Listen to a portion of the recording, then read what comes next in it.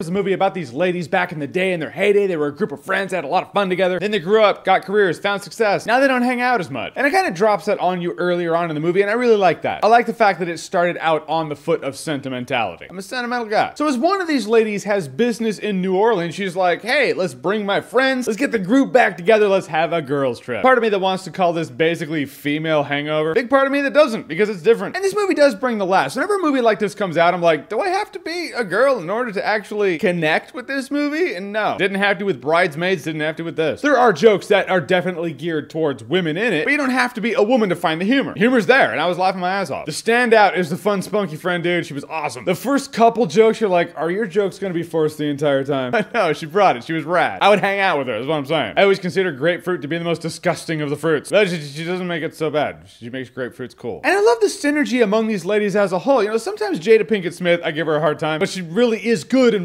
like this. She's the one, because you know there's that one friend who was a lot of fun back in the day, and then she had a couple kids. Then she became super overly responsible. So it's fun to see someone shed the layer of cobwebs through a situation like this. And the reason I can't really call it the female hangover, because the hangover is the dude it was laughs. It was hysterical laughs. I laugh every time I watch the movie. It's a lot of fun. It's a lot of Vegas. But this one, though New Orleans, it does turn on the drama when it needs to. The end of the movie had a really good message. I will say the movie's a bit too long, maybe 15, 20 minutes too long. Granted, it does justify its length by having the dramatic angle. Doesn't change the fact that I walked away going, eh, the movie could have been a bit shorter. And not all of the jokes totally landed with me. I saw this movie in a packed auditorium with a lot of ladies having fun. And a couple of the jokes, like none of us were laughing. It's not like I was the asshole, the curmudgeon down there, like, I'm not laughing. Hmm, you guys are laughing. Yeah, a couple of jokes in the movie didn't really stick to landing, and none of us were really laughing. Guys, in the end, Girls Trip surprised the hell out of me. Kinda apprehensive going into it. It's like, how much can I connect with this movie? I actually enjoyed it. It was funny, it was heartfelt, it had a good message, a couple of good messages in it. The movie does run a bit too long, but if you're gonna see this movie, hopefully it's a packed auditorium with a lot of ladies out there doing their girls trip, or at least girls night. There's something about that audience energy, man. It just makes the movie more fun. In the end, I will say Girls Trip is definitely a good time. No alcohol required. So, who are we kidding? Bring on the sangria. Or, you know, scotch. And probably sangria. And just letting you guys know, I will be in Las Vegas through Saturday. Star Trek convention, gonna be awesome. Yes, I'm going there for the Star Trek convention. Should be a lot of fun. However, this is me letting you know that I won't have my review for Dark Tower up for you until